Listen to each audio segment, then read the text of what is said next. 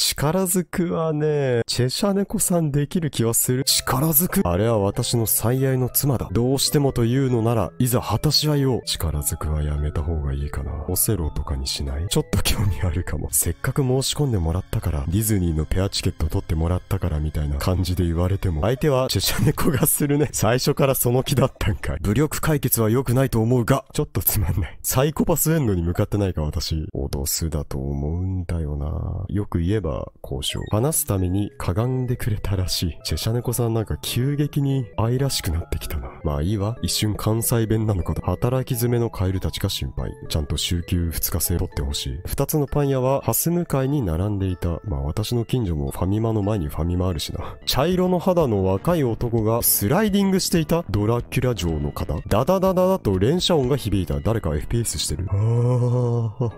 パンか日焼けサロンに通ってる人が微妙にわからないライン。この人たちはアンパンだよ。何それ。アンパンというのは中にあんこが入ってるパンのことだよ。チェシャ猫。なんか可愛いな。ボディービルダーの集団みたい。肩にでっかいアンパン乗せてんのかい。真実のアンパンを決める戦いに臨んでいる歪みの国のどこかにタケノコキノコの戦争起きてるでしょ。